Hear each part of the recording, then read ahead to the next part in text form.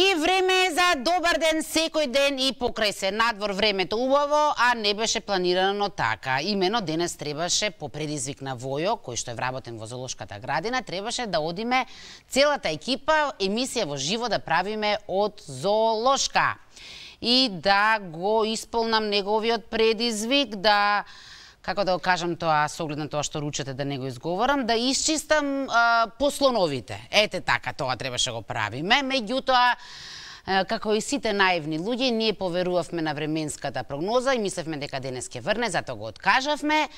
Ке презакажеме за некој сончев ден, кога најверојатно ќе врне. Така некако ќе испадне. Како и да е, не бегаме од предизвикот, сите сакаме да одиме, меѓутоа не знаеме кога, така некако му доаѓа. Да, можев и покусова да го кажам. Како и да е, ние си продолжуваме од нашето вонредно студио, кое што беше планирано да трае покусо време, меѓутоа еве веќе три месеци си тераме од овде, од нашето импровизирано студио и си одиме во домовите на познати личности. Првата позната личност, која што денес ќе одиме, е Диме Коцевски. Диме Коцевски, инаку, е актер од Кавадаречкиот театар.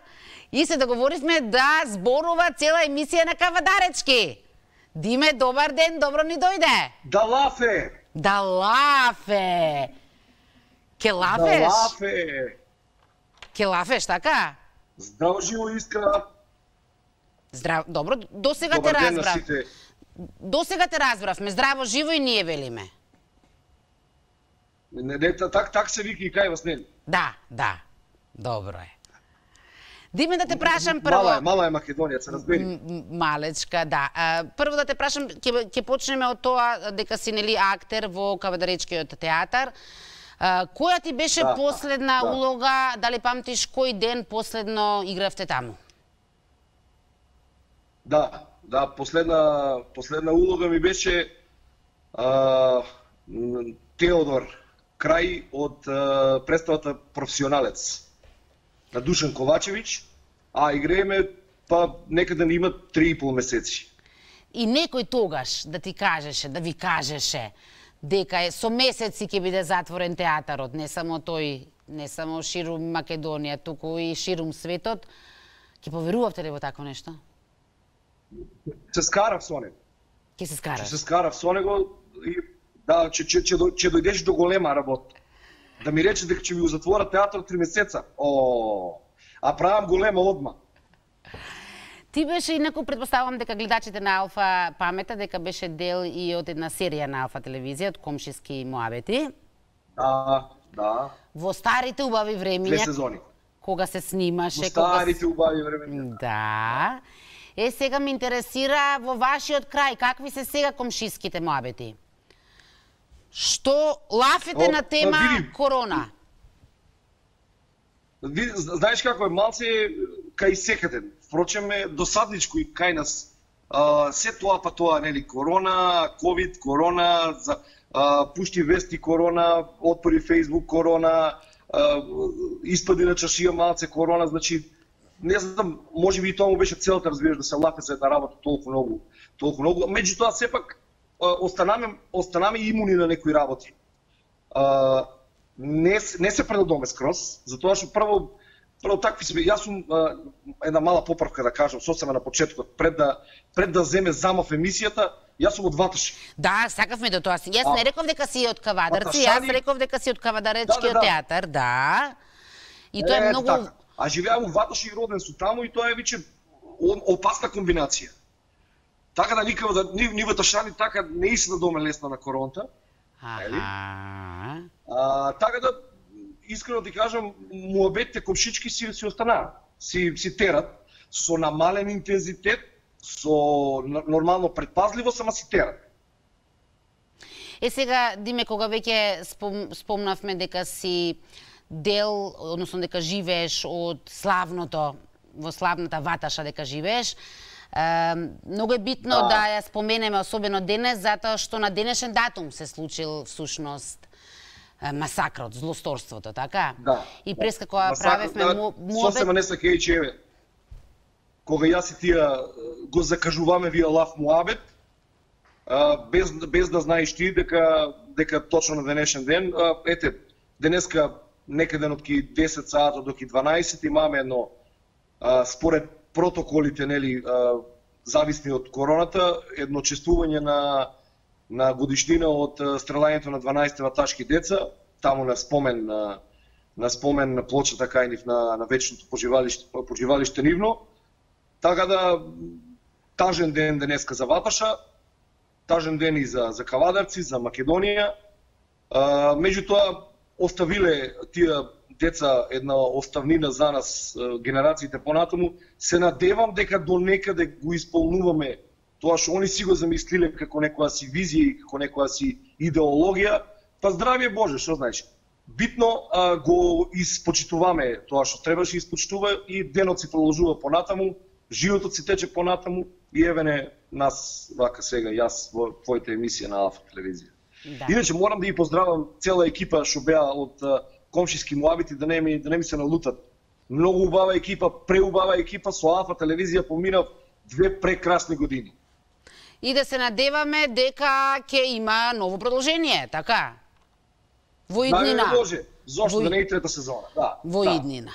Вака сега ние решивме да го започнеме муабетот со блиц прашања до тебе, а ти Добро. блиц ке ми одговораш на кавадаречки, ама без размислување. Теко. Така, што прво ќе ти падне не, не, на памет?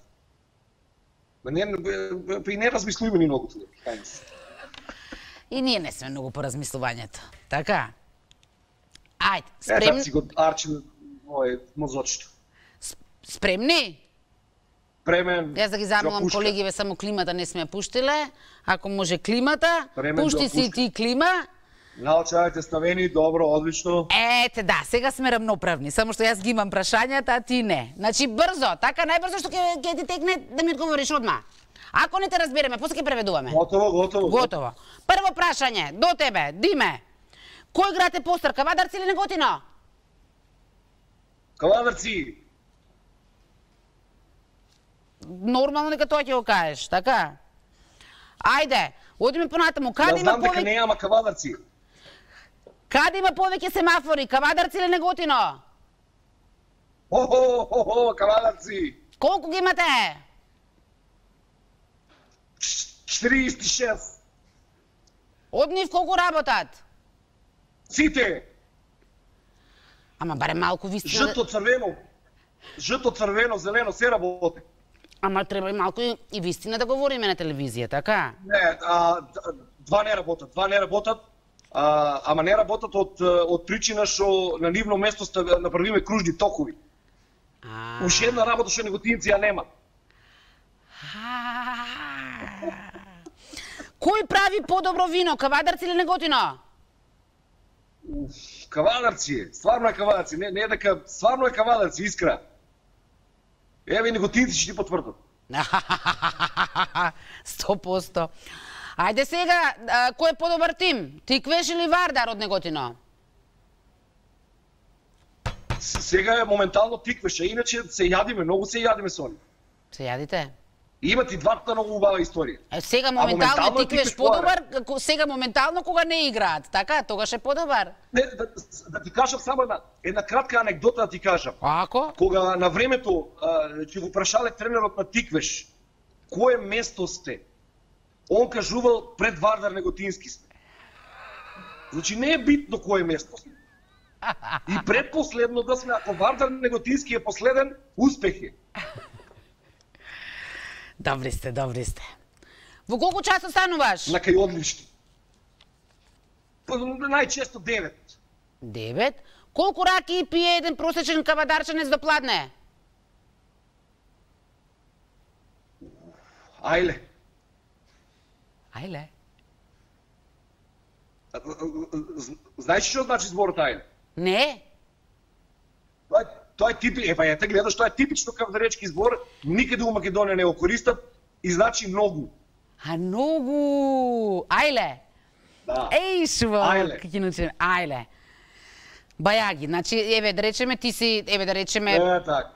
Ти не си просечен кавадарчанец бидејќи ти си од Ваташа, што значи ти уште по ајле. Одма Како, по ајле, како е помногу од многу? Ептен Дибиду сај. Дибиду сајле. Ако не живееше во Ваташа, каде би живеел? Неготино? Моклиште. Како? Моклиште. Немој сега не готвене. Моклиште, моклиште. Не сум толку запознаена. А тоа е нешто блиско сигурно, така? Тоа близко е, да, тука, Близко. таму на Ритчето кај нас. Што имаш против Скопјани? Ништо. Ништо. Ништо. Ништо, особено против Скопјанки ништо. Ме гледа. Ме гледа девојката, ме гледа девојката тешко мене. Што сакаш да бидеш кога ќе пораснеш? Глумец. Да. Глумец сум. Да, си. Ш- шофер. Шофер на камион. Шофер на камион. Да, ама а, американските со муцка напред. А, и тие со, со Дедо Мраз што го рекламираат на Нова година? Со, Аха, со, со светилките. Каче, е така и каче минам, каче минам да ми речат де и но да го направам. О, о, Да. тоа тоа не многу сак. Интересно. Омилен филм? А, Ен, два, три. Shawshank Redemption. Shawshank Redemption, а македонски тетовирање дефинитивно. Како? Тетовирање. Македонски, а Добро. Shawshank А кој ти општо. македонски глумец? Македонски омилен глумец. Еден Па, од Ристо Шишко. Омилена песна? Македонска. Твоја? Во, во, е, А моја после, Ептен омилена. после Але, Але беше? После Але Раки, која песна ја нарачуваш во кафана? А, ми заплакало ватеше. А. Кој ти е омилен спорт? Фудбал. Да го гледаш или да го играш? И на времето го играев пред да да да почнам да јадам многу диети. Да, тоа разбрав, за тебе мора да ни го кажеш. Си држал 5-6 диети истовремено, така? Да, да, да, држам, држам, држам. Држам кето, држам как се ви каже на Хроно. месна, калории, броам. И- Сега сум моментално на Herbalife. Ако мислиш дека им правиш рек- реклама, не им правиш реклама со ова. Не, не, не, не, не, сериозно, сериозно, сериозно. Па, сериозно, јас што ти кажам. сега. Лашен сум. А иначе вие предходните диети, една ми беше малце ги јадев повеќе и затоа наместо да симнам пет, ставав седум.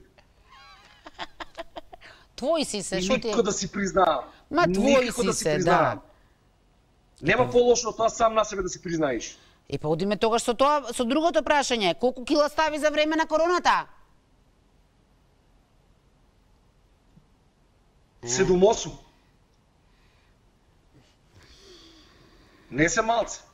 Знаеш што? Кога правиме А вакви пред прашања, короната 10 симнав. кога правиме вакви прашања, сигнал. треба да им ставаме на гостите детектор за лаги.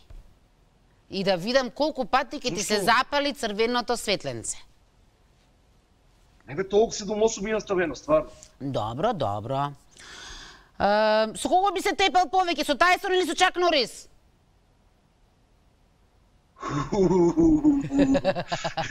Со Чак Норис. Да, да, овој е ептен е непредвидлив овој Тајсон, нели? Многу е непредвидливо. Јаде за уво јаде, ја ме стра. Не, не, не.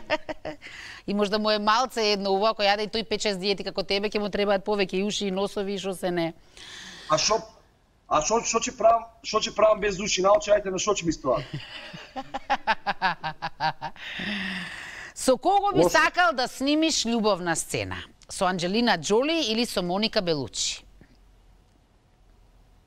Моника Белучи, не, без без да размислувам.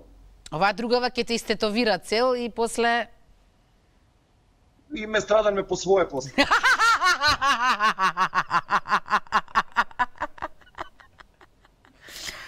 А, десето дете ќе бидеш, да. Односно, знаеш што, да, она оди по свет и од такви банана држави посвојува деца. Ет, Има шанси. а јас си ја знам, а јас си ја знам мојата среќа. Гаранче ме по свое.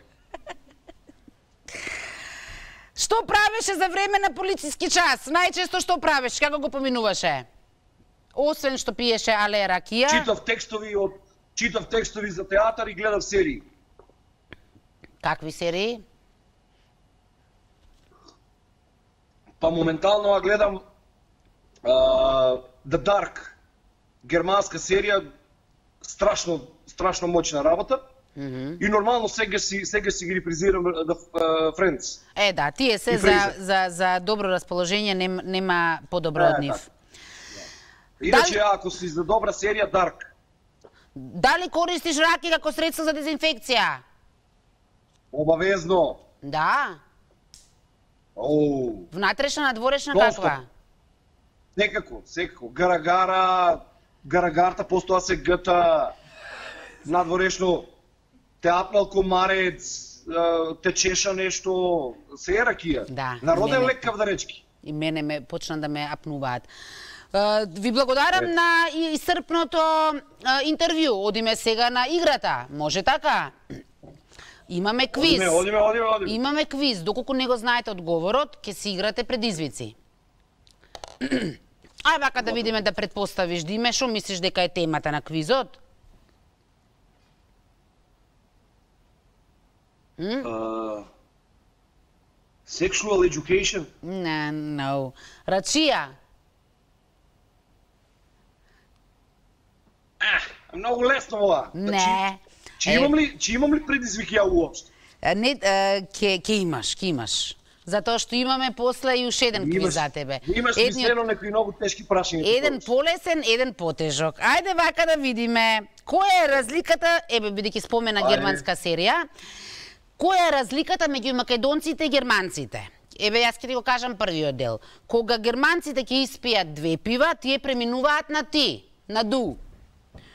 А на што преминуваат македонците кои ќе испијат две пива?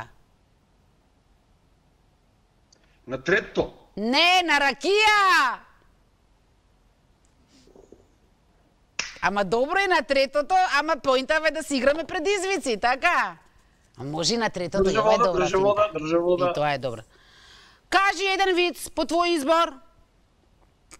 Вид по мој избор. А, може ли да почнеме одма со малците да ги закачиме комшиите, со неготински? Може, таман комшиски муабети серијата се надоврзуваме на неа. Значи неготинчаните ги значи, закачаме сега? Да. А, иде, него, иде неготинец у кавадарци да пазаруе. Влево удучерот и му вика на, на продавач, му вика се извинувам, колку пари ви е ваа хармониката на, на излогот? го погледнал продавач и му вика, баце, хармониката не ја продавам на неготинци. Излегал човек. Се враќа утрето малце преправен. Пак влегува и вика, добар ден, баце, ваа хармониката што е на, на излогот колку пари е, баце на неготинци не ја продавам хармониката. Иде третиот ден сет маскира. Значи сет. Па лева и па му вика, баце, се извинувам, ваа хармониката колку пари ја ти ја сакам да ја купам. И вие му вика, море баце, три пати ти кажувам на неготинци, ја хармониката не ја продавам. И вие му вика, добро ме баце, кај ме позна дека су неготинец? Оти тоа на излогот не е хармоника, радиаторе.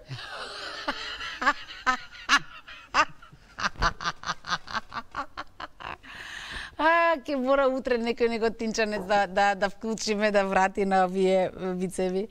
Мора да врати, мора да врати. Да, да. мора, суп. Да го врати радиаторот, ако ништо друго.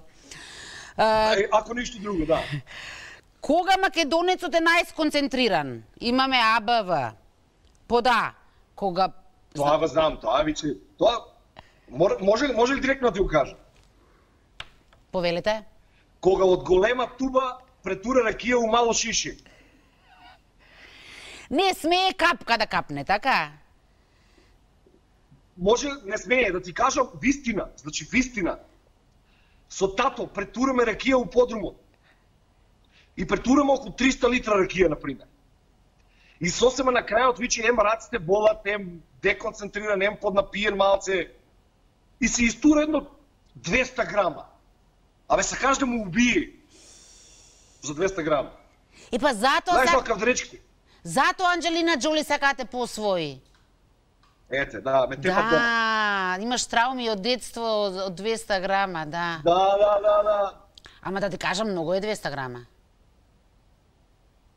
Многу е. За Многу 300, е. за 300 кила ракија 200 грама е многу. Да, па бокалче Да. си е тоа, да, да, да. Значи, Тоа е цело бокле, да, цело. Извини вака, ма јас го разбирам татко ти. Кажи ми кој хемиски процес се случува во казанот за ракија? Како се вика? Ферментација. Не! Како бе не? А, Дестилација. добро, добро. Дестилација. Добро, Ам, Ќе ти Дестилација, ферментација, дестилација и дека конзумација. Ама јас сум жива среќна. шило. Леле, тек сега татко ти знаеш што ќе ти направи. Ајде да видиме што предизвик. Предизвикот вели вака.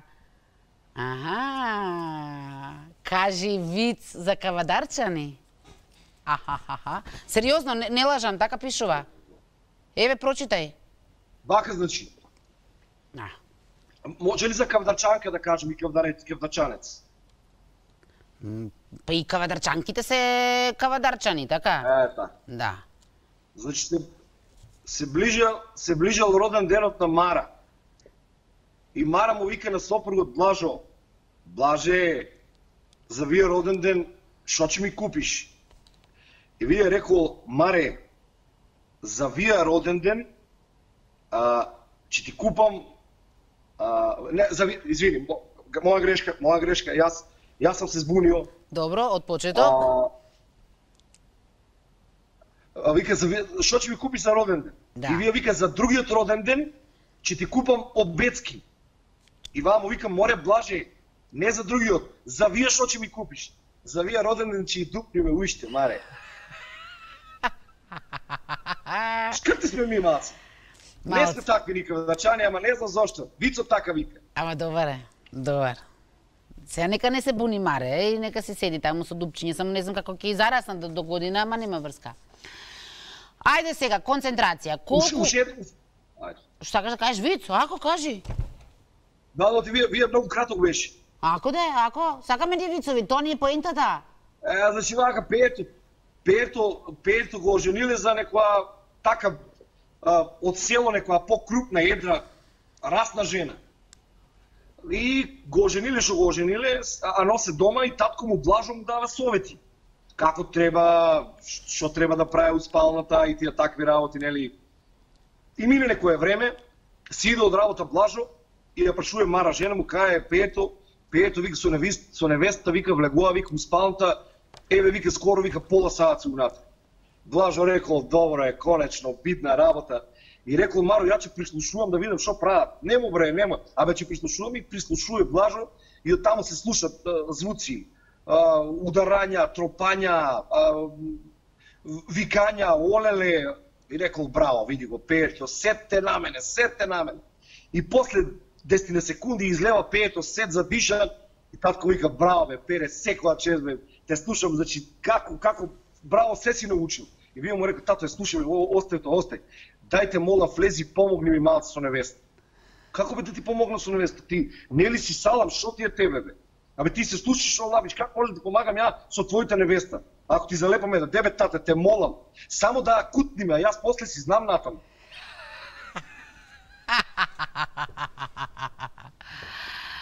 А, ама, добро, ова не важи само за кавадарчани, така?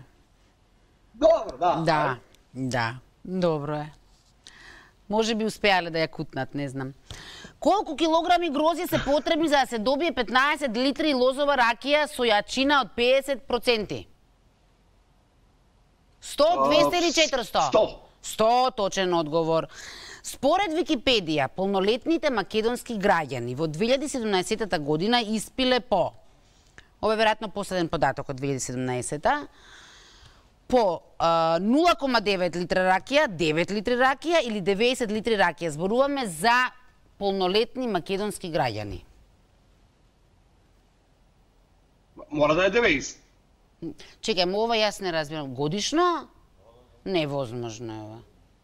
Не, ова е грешка, затоа... Како не е возможно? Не, 0,9. Како не? 0,9. Да не е дневно ова. Мора да е дневно, не? Да, ама Како ние, ние 0,9? пронајдовме многу работи во Википедија кои што не се верни. Така што не ти давам предизвик за ова, затоа што не си ти виновен. Затоа што ја имам комшија, ја имам комшија кога ќе го прашам комшо оваа година колку реки остави, комшо, колку за нас 300 кила. Е, па сега види ти, дали е 0,9? Колку данас? Ништо, Ви- Википе- Википедија треба да ве посети таму. Ајде да видиме ова апропо твоите диети, за да знаеш која ти е главната причина. Не е до 5-6 диети, не е Ајде. до Herbalife од туку. Ракијата велат дека не здебелува бидејќи има мал број на калории и го смалува. Под А притисокот, под Б шеќерот, под В холестеролот. Што намалува? Треба да е холестерол. Треба да е холестерол. И што сака, значи, што значи во превод ова треба да да диме да пие ракија за да ослаби?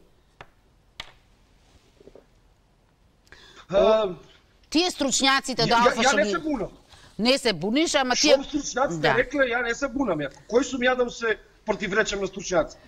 Види, ти, ти ги запозна дел од стручњаците за време на снимањето од Алфа телевизија, ако им веруваш, послушај ги.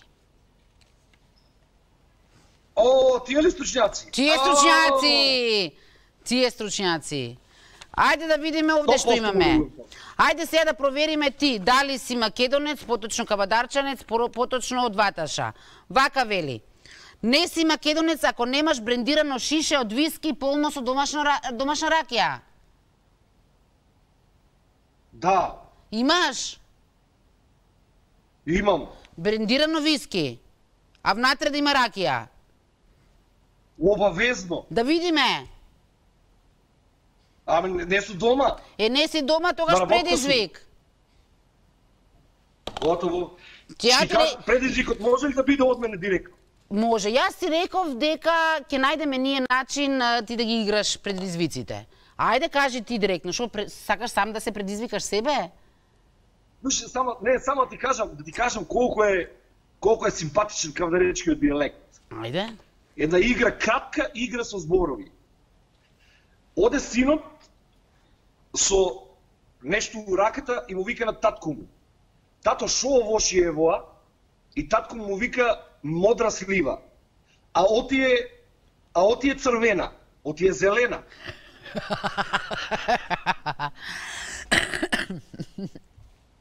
да, Покава да речки не може од тоа. супер. Ајде понатаму, а, а, не си македонец, односно не си од кавадарци, ако на шишето од Фанта има капаче од Кока-кола, во... Чекај, ако на шишето од Фанта има капаче а, од Кока-кола, а во него има ракија. Да, само кај нас е, нели, оти синалко е кај нас. Кај Васиналко со капаче од од што? Си- Финалко, на пример, од оранџада, на него капаче од Кока-кола, унатре ракија. Натре ракија, да видиме. А, значи предизвик. Значи предизвик, ете, видиш како си свати ти. Аха, преоѓаме на пење. Испеј Леле. еден рефрен од која сакаш странска песна. Странска, не мислиме на скопска, мислиме на странска надвор од Македонија. Јасно, јасно, јасно. Да не мислиш дека неготино е странска песна. Неготинскиот Том Джонс го имам. Така да може однапад да запеам нешто. Па А, добро, не, че испеам, че испеам странско сега. ајде странска. Да го наквасам грлто. На здравје. Благодарам. Значи само една строфичка. On a dark desert highway, cold wind in my hair, warm smell of colitas rising up through the air. Up ahead in the distance, I saw shimmering light. My head grew heavy and my sight grew dim. I had to stop for the night. There she stood in a doorbell. I heard a mission bell. And I was thinking to myself, this could be heaven and this could be hell. And then she lit up her candles and she showed me the way. There were voices down the corridor. I thought I heard them say, Welcome to the Hotel California. Such a lovely place, such a lovely face. И така натаму. Да знаев да пеам, тука требаше женски вокали да улетаат. Да, нели, да. Да, да. Оваа песна ќе ти одговара на онаа твоја желба, што сакаш да бидеш кога ќе пораснеш, да бидеш камионџија. Е така го замислувам, тој си Да, вози, да. си вози, наидува на еден таков чуден, Може би си ја необичен. пеам, си ги пеам Иглси, да. Да, да. Не сум лош пеач јас. Не си, ич Да, не си. Не сум ка Не сум ка Кај Тутанева од Јона од Ваче или ка Маријан Коцев исто од Ваташа, ама добар сум, добар сум. Топ си. Претоп. Како беше? Але. Бибидус Ајле. Ди, ајле ја палеј. Ајле, дибидус, Ајле. ајле. Е, са не си дибидус, ајле пејач си. Ајле, ајле Ајле- добар. ајле пејач, да. Ајле добар, Ајле си добар. Ајле си добар. Ја палеј. То беше за леј, не беше... Да. Да, да, да, да. А, аха, почнали со безобразни прашања да ми ставаат овде. Неле? Да. Неле? Ам, како да му ги формулирам овие? А, овие се едноставно од, од интернет. Добро. Не знам јас овие како да ми ги направам дали е македонец. Дали ги почитува тие? Ајде вака, има не, а, вели и психи... Ова се од интернет превземени на тема ракија, вели и психијатар може да помогне, но со ракијата е поевтино. Па да видиме, ти дали одиш на психијатар или со, со ракија? Ракија, ракија, Тамара, мислам, ракија, ракија. Да. Понатаму вели да се пие... кажа ја ракијата ни е народен лек ни е нас у, у Кавадарци, нема. За се едно нешто е ракијата. Да. Стомак те боле ракија. Ракта те боле ракија, глав те боле па ракија. е. Чекај да овде што друго пишува. Вели домашно шампањско, мажот пие ракија, жената врие. Имате вие такво домашно шампањско? Има, има. Ако го извадиш винто, ако го извадиш винто малце порано и оно си изферментира у самото у самата у самото шише и кога го отвориш ја шампањско е. Да. А не, значи не треба жената да врие, да се нервира за да биде шампањско, така? не, не, не, не. Не мора. Добро. Дека јас вака од Не нервоза мора, обично добри. вода некогаш газирана ми се претвара, ама добро. И уште Да, едно да нешто. врие, да врие джа ово наско кумиње. Дали ја почитуваш оваа народна мудрост? Ако не се лечи со ракија, сигурно е неизлечиво. Да. Да, а, апропо тоа, а, мојот а, мојот покоен дедо Бог си го прости, а, он никош у животот не знаеше што е тоа болест. А, почина на 86 години. А, и он живееше доле, ни живееме горе и ќе се каче горе кај нас, ќе седне у фотелјата без никаква, без ништо, без збор да каже, ќе седне у фотелјата и само ќе рече ја се разболувам. И, и нормално сега ќе го прашаме од што бе дедо? Не ми оде ракијата. Значи тоа е знак дека нешто не ти е добро, така? Значи нешто не е уред. Организмот нешто му кажува. О, супер. Бидејќи ги знаеш сите овие, ние решивме а, да не ти спрашуваме повеќе, туку а, директно да си влечеш предизвик. Може така? Ајде. Ајде. Кажи виц за него, о, го имавме, кажи виц за неготинчани, освен ако немаш уште некој. Го кажавме со Не, за радијат. вака, не, ќе кажам да бица... А, А, не, еве, еве, еве, друг. Друг, друг, друг, друг, друг. Може? Кажи виц за жени. за? Жени. А за жени. Жена. Жена. една, вле, влева една, една жена у, у автобус. И, и со неа си го носи детенство. А, и шоферот ти вика, твој ли е ова дето? А вика, моје. Аби многу неко грдобитно ми стое. У, џубре ни едно. Како не те срам? И оде, жената оде назад да седнуе, и уште изнервирана видно, уште а, вика, пцуе по, по, по шоферот и седнува до некој човек и човек вика, што си напана во? Абе, му увреди, вика, оној шоферот вика напред, вика, му увреди, вика. Па, дај ми го, вика, мајмунчето ваму и оди врати му.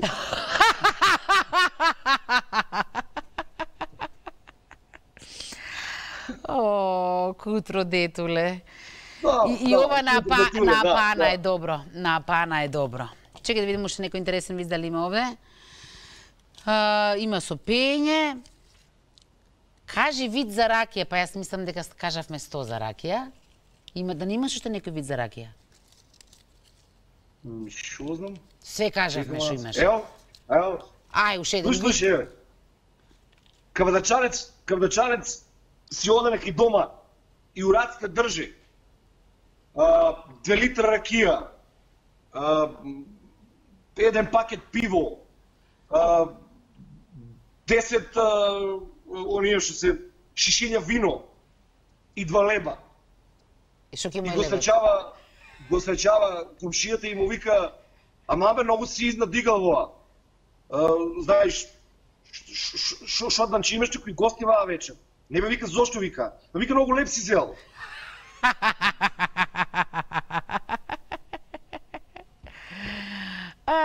не. супер, не, супер, ама е На супер. таа чу- на таа ракија и на тоа вино леп зел две две веки. Многу е. Многу е. Да, апсолутно. И непотребно фрлање на пари, така? Кажи Непотребно, ми, да. Диме, пред да се поздравиме, о, колку време сме правиле веќе муабет. Кажи ми ти кого ќе предизвикаш? Кој да предизвикам?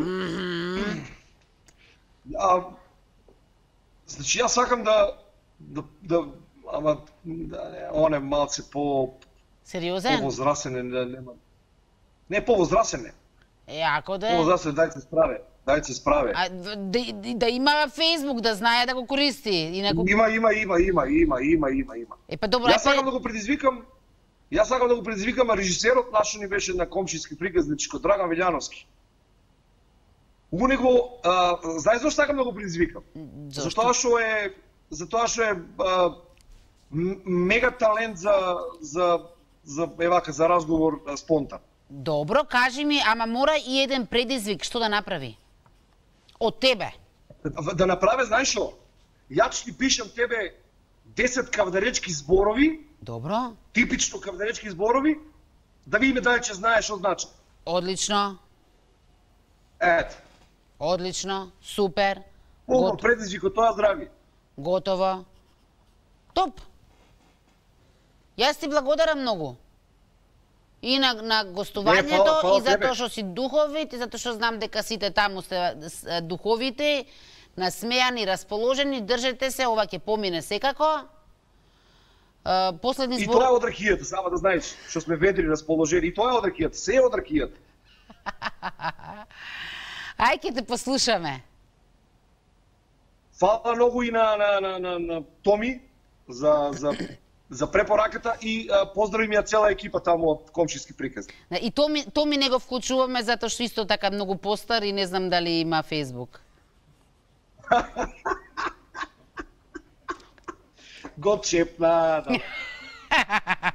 Знам дека гледа. Ти благодарам Да, многу да.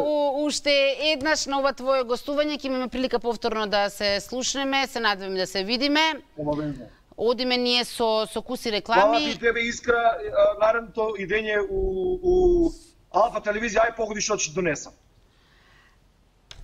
Срам ми е да кажам, ама дали е на буквата Р? Точно! Да, ама а, Да, прашуваат колегите колку ќе донесеш, не што ќе донесеш. А, а, јас, јас упеано дете од вача знам колку да донесам, нека не се секира тоа. Добро. И да те поштедиме, немој да ни носиш леп. Имаме. Има тука и една ваташа бурекджилница, да. Да. Има карш, нели? Да. Ете така. Готово, само рекија. Без леп, директно, да. Фала ти Искра уште еднаш. Имај убав ден и поздрави екипата. Фала ти многу Диме, беше тоа Диме Коцевски од славната Така. Ваташа. Ете успеавме да споменеме и што се случило на денешен ден. Сега одиме со куси реклами, а веднаш потоа се селиме во Загреб, каде што не чека Горан Винчич, еден од најдобрите стендап комичари. Колку е добар, колку е смешен, колку е забавен, ќе видиме.